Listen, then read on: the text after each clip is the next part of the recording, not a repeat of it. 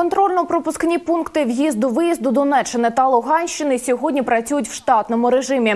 Про це Суспільному розповів пресофіцер Східного регіонального управління Держприкордонслужби Ігор Лизагуб.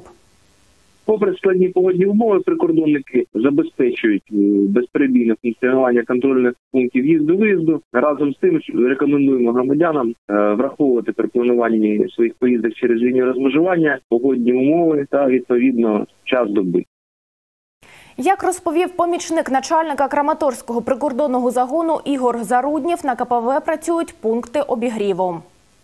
Пасажиротранспортний поток звичайний, як для п'ятниці. Е, Черг особливих не спостерігається в КПВ. І погодні умови, ну звичайно, погіршилися, але е, умови перетину особами лінії розмежування дозволяють комфортно перетинати КПВ. У нас е, для пішоходів модулі, через які вони проходять, обігріваються, тому особливих проблем немає.